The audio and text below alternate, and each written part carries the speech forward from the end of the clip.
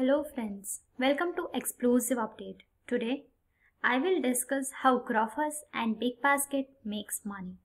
So let's begin.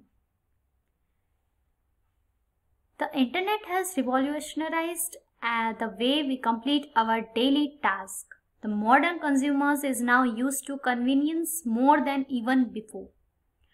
It's quite apparent that online groceries has certainly provided a lot of convenience to busy households. So today we are going to tell you about two big e-grocery giants, Grofers and Big Basket. Grofer is a Gurugram based Indian online grocery delivery business which was founded by two IIT graduates, Albinder and Saurabh Kumar in 2013.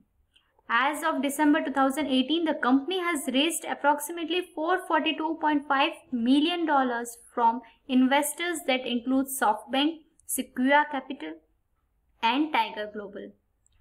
Big Basket is an Indian online grocery delivery startup was founded by V.S. Sudhakar, Hari Menon, Vipul Parekh, Abhinav Chaudhary and V.S. Ramesh in 2011.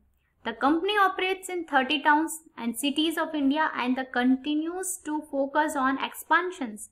It has recently crosses the 100 million customers marks and is running close to 1 lakh order per day.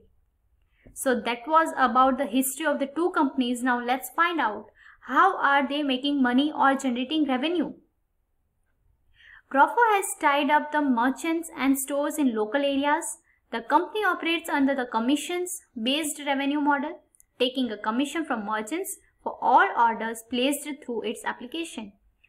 Reports suggest that the commission is around 8% for orders under 700 rupees and 12% to 15% in order between 700 to 1000 rupees.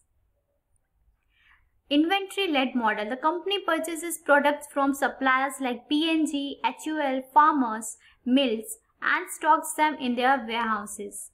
To generate revenue, it adds a small margin to the cost price before vending them.